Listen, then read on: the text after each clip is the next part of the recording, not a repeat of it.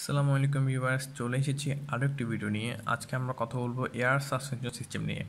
Air suspension system কীভাবে কাজ করে, কীভাবে হাইট লেভেল মানে হাইট অ্যাডজাস্ট করে, কীভাবে লেভেলিং বাল্ব কাজ করে, আমরা আজকে এগুলো সব কিছুই জানব। অবশ্যই বিস্তারিত জানতে হলে পাশে থাকুন এবং চ্যানেলটি সাবস্ক্রাইব করুন এবং পরবর্তী ভিডিওগুলো পাওয়ার জন্য বেল আইকনটি ক্লিক করুন। আচ্ছা ফার্স্টলি আমি বলে রাখি যে আমি এয়ার সাসপেনশন সিস্টেমের উপর বাংলাদেশে এমন কোনো ভিডিও পাইনি যেটা দেখে আমি একবারে বুঝেই যাব যে মানে এয়ার সাসপেনশন সিস্টেমটা এভাবেই কাজ করে। দ্যাটস ওয়াই আসলে ভিডিওটা বানানো। ওকে ফার্স্টলি আমি বলে রাখি এই এয়ার সাসপেনশন সিস্টেমটি আপনার স্টিল স্প্রিং অর্থাৎ কয়েল স্প্রিং এবং লিভ স্প্রিংয়ের পরিবর্তে মানে চারটি এয়ারব্যাগ ব্যবহার করা হবে। মানে আপনার কয়েল স্প্রিং এবং লিভ স্প্রিং ব্যবহার করা হবে না, এর পরিবর্তে আপনার চারটি এয়ারব্যাগ ব্যবহার করা হবে। আর এই এয়ারব্যাগগুলো আপনার থাকবে আপনার ফ্রেম এবং অ্যাক্সেল হাউজিংয়ের মাঝখানে থাকবে। ওকে বুঝলাম তাহলে এগুলোর অবস্থান কোথায় থাকে? এগুলোর অবস্থান হবে আপনার এয়ার ফ্রেম এবং অ্যাক্সেল হাউজিংয়ের মাঝে। ওকে দেন আপনার ফার্স্ট হচ্ছে কি আপনার কম্প্রেসর কম্প্রেসর বাতাসকে সংকুচিত করবে কম্প্রেসড করে রিজার্ভারে পাঠাবে। এবং যে কম্প্রেসড এয়ার থাকবে, এই কম্প্রেসড এয়ারের প্রেশার হবে আপনার five point six kg per বর্গ সেন্টিমিটার হতে সেভেন কেজি পার বর্গ সেন্টিমিটার পর্যন্ত। ওকে দেন আপনার রিজার্ভারের মধ্যে হতে আপনার যে এয়ার থাকবে এয়ারগুলো লাইন দিয়ে এসে আপনার লেভেলিং বাল্বে আসবে। এই লেভেলিং বাল্ব হচ্ছে কি আপনার মানে বাতাসের মানে বাতাসের প্রবেশের পরিমাণ মানে এয়ার ব্যাগগুলোতে কী পরিমাণ বাতাস প্রবেশ করবে সেটা নির্ধারণ করবে আপনার লেভেলিং বাল্ব দেন আপনার এয়ার ট্যাঙ্ক অর্থাৎ এয়ার ব্যাগগুলোতে বাতাসগুলো প্রবেশ করবে এবং স্প্রিংটা একটু ফুলে উঠে ফুল উঠবে। ফুল উঠলে আপনার মানে এই স্প্রিংটা কাজ করবে।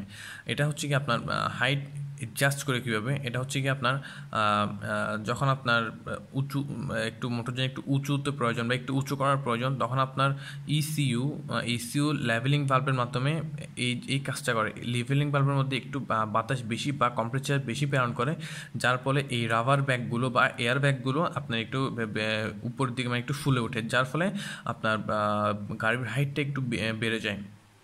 যখন আপনার leveling valve load level load level হচ্ছে গিয়ে আপনার যখন আপনার গাড়ির পিছনের দিকে বা সামনের দিকে পিছনের দিকে সচরাচর একটু আমরা জিনিসপত্র বেশি রাখি, যার ফলে গাড়ি একটু পিছনের দিকে একটু পিছনের দিকে ঝুঁকে যায়।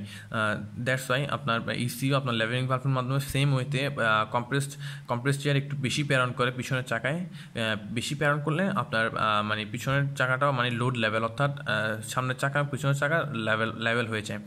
এভাবে আসলে এটি কাজ করবে।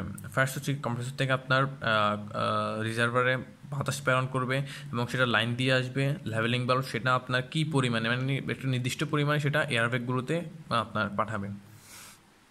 আর হাইট লেভেল হচ্ছে কি আপনার লেভেলিং বাল্বটা হচ্ছে কি আপনার মানে যখন আপনার মোটরযান হাইট মানে হাইট বেশি দরকার হবে, তখন লেভেলিং বাল্ব একটু বেশি পরিমাণে আপনার ইয়া করবে, আপনার যখন এই বাতাস কম্প্রেসার প্রেরণ করবে। আর যখন আপনার বাতাস একটু কম দরকার হবে, সেই মানে এয়ার স্প্রিং থেকে মানে এয়ার সাসপেনশন সিস্টেম থেকে বাতাসগুলো পুনরায় রিজার্ভারে ফেরত চলে আসবে। যখন আপনার গাড়ির হাইটটা কম দরকার হবে, তখন আপনার এয়ার স্প্রিং থেকে পুনরায় কম্প্রেসারগুলো রিজার্ভারে চলে আসবে। এভাবে এয়ার সাসপেনশন সিস্টেম কাজ করে। আশা করছি আমি ভিডিওটি মানে পূর্ণাঙ্গভাবে বুঝতে পেরেছি। এয়ার সাসপেনশন সিস্টেমটি আমি এটা দু মানে ভেঙে ভেঙে বুঝেছি যাতে সবাই ক্লিয়ারলি বুঝে যান। ধন্যবাদ।